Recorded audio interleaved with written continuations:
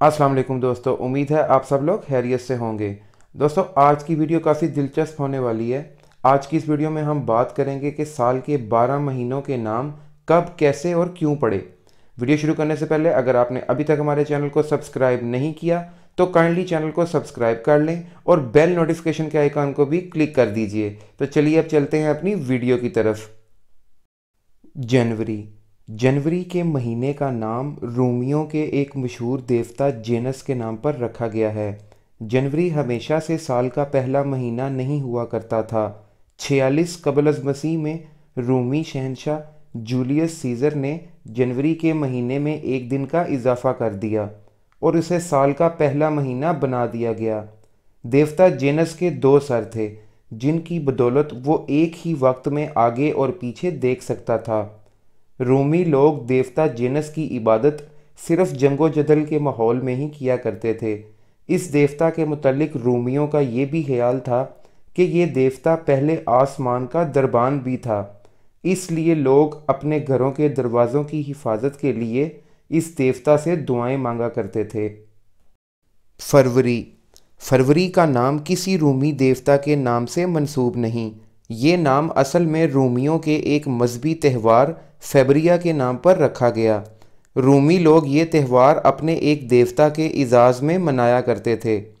ساتویں صدی قبل از مسیح سے قبل سال دس مہینوں کا ہوا کرتا تھا اور سال میں تین سو چار دن گنے جاتے تھے۔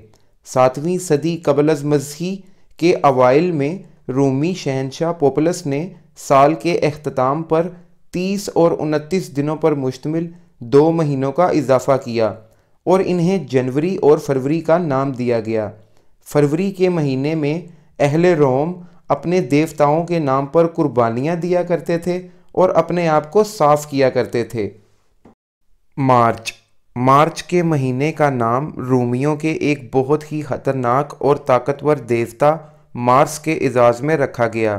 مارس کو اصل میں جنگ کا دیوتا سمجھا جاتا تھا۔ اہل روم مارس کو تمام دیوتاؤں سے طاقتور سمجھتے تھے۔ رومیوں کے نزدیک بارش، بجلی اور گرج چمک سب مارچ دیوتا کے ہاتھ میں ہے۔ مارچ کا نام جنگ کے دیوتا کے نام سے منسوب تھا۔ لہٰذا مارچ کا مہینہ فوجیوں کے لیے سال کا آغاز ہوتا تھا۔ اپریل۔ اپریل کے مہینے کا نام کسی دیوتا کے نام سے منسوب نہیں، بلکہ اس مہینے کا نام پیار کے فرشتے سے منسوب کیا گیا تھا۔ اپریل کے معنی آغاز کرنے والا یا پھر کھولنے کے ہیں۔ اپریل کے مہینے میں درخت اپنے پتے کھولتے ہیں۔ مئی۔ مئی کے مہینے کا نام کسی دیوتا کے نام پر نہیں، بلکہ ایک رومی دیوی میاں کے اعزاز میں رکھا گیا۔ رومیوں کے عقیدے کے مطابق، ہماری اس وسیع و عریض زمین کو ایک دیوتا نے اپنے کندھوں پر اٹھا رکھا تھا۔ اس دیوتا کی سات بیٹیاں تھیں، جن میں میاں سب سے زیادہ خوبصورت تھی۔ جون۔ مئی کی طرح جون کے مہینے کا نام بھی ایک رومی دیوی جونو کے نام پر رکھا گیا۔ یہ دیوی رومی دیوتاؤں کے سردار جوپیٹر کی بیٹی تھی۔ جولائی۔ جولائی کے مہینے کا نام کسی دیوی یا دیوتا کے نام پر نہیں، بلکہ مشہور رومی شہنشاہ جولیس سیزر کے اعزاز میں رکھا گیا۔ پہلے یہ سال کا پانچواں مہینہ ہوا کرتا تھا۔ تاریخی ریکارڈز کے مطابق جولیس سیزر وہ پہلا انسان تھا جس کی پیدائش آپریشن کے ذریعے ہوئی۔ اس لیے آج بھی نارمل ڈیلیوری کے برعکس بچے کی پیدائش کے لیے کی جانے والی سرجری کا نام سیزیرین یا سی سیکشن کہلایا جانے لگا۔ اگست۔ اگست کا نام بھی ایک مشہور رومی حکمران اگستس کے نام پر رکھا گیا۔ پہلے اگستس کا نام کچھ اور تھا، لیکن عوام میں بے پناہ مقبولیت کی وجہ سے اسے اگستس پکارا جانے لگا، جس کے معنی دانش مند کے ہیں۔ وقت گزرنے کے ساتھ ساتھ اگسٹس اگست میں بدل گیا۔ ستمبر۔ ستمبر کے لغوی معنی تو سات کے ہیں۔ پہلے یہ سال کا ساتواں مہینہ ہوتا تھا، مگر بعد ازاں کیلنڈر کو دوبارہ ترتیب دینے پر یہ سال کا نواں مہینہ بن گیا۔ اکتوبر۔ اکتوبر لاطینی لفظ اوکٹو، جس کے معنی آٹھ ہیں، سے اخذ کیا گیا ہے۔ ماہ اکتوبر اب تو سال کا دسواں مہینہ شمار کیا جاتا ہے، لیکن پرانے رومی کیلنڈر میں یہ سال کا آٹھواں مہینہ ہوتا تھا۔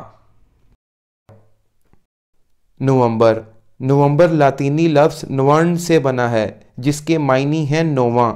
پہلے یہ سال کا نوواں مہینہ ہوتا تھا، لیکن بعد میں گیارہواں مہینہ قرار دیا گیا۔